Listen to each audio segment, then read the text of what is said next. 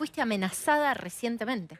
Exactamente. Anoche, justamente horas después de haber anunciado eh, mi candidatura y el por qué me, retiraba, digamos, del kirchnerismo. O sea, tampoco es que me retiraba, me cerraron la puerta.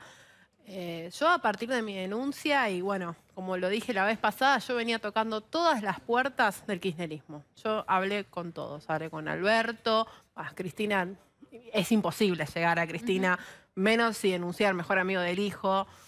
Eh, o sea, imagínate que no me va a recibir. Pero lo único que encontré del otro lado era, sí, compañera. Después cuando yo, la semana pasada hablé con Alberto eh, y le dije, mirá Alberto, me dijo, cuando le hablé me dijo que nos íbamos a juntar. Y le dije, mira, me gustaría que nos juntemos antes del cierre de listas. No sé si él lo tomó mal pensando que yo quería un cargo, porque yo no busco un cargo, no, es que estoy buscando que quiero ser legisladora, comunidad, no, no, yo busco seguir peleando por las mujeres, digamos. Yo quería hablar con él para revisar el tema de las listas, a ver a quiénes se están poniendo. Porque la ponen de candidata Mayra Mendoza, que lo sigue encubriendo al loco Romero y encubre también a su concejal que habría violado a una piba.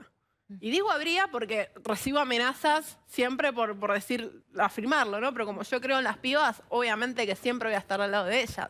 Yo vengo militando desde el 2013, me vengo rompiendo el lomo. Yo me, yo me posturo la Comuna 8 porque yo conozco el territorio, yo conozco el tema de la organización de las villas, yo sé que no tienen cloacas en la Villa 20, ¿entendés?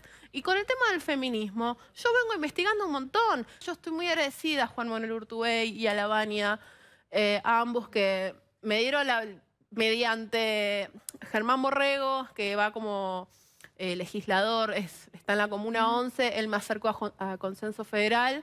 Eh, y hace rato también veníamos teniendo charlas porque ellos venían siguiendo a mi lucha, pero yo como fiel kirchnerista, ahora me tratan de traidora, pero fui fiel hasta último momento. Hasta último momento me, negaba, es más, hasta hace una semana tenía la foto de perfil con Cristina en mi, en mi teléfono. Las mujeres tenemos que ocupar los lugares en las listas, los lugares en la política, para que empecemos a proteger a las mujeres. Entonces, si ellos mismos no pueden proteger a sus mujeres dentro de su agrupación, se llama, un frente, se, se llama Frente Todos, pero no nos incluyen a todos, porque a las pibas que nos tuvimos que ir por estos casos no nos están incluyendo. Y yo eso se lo dije a Alberto Fernández.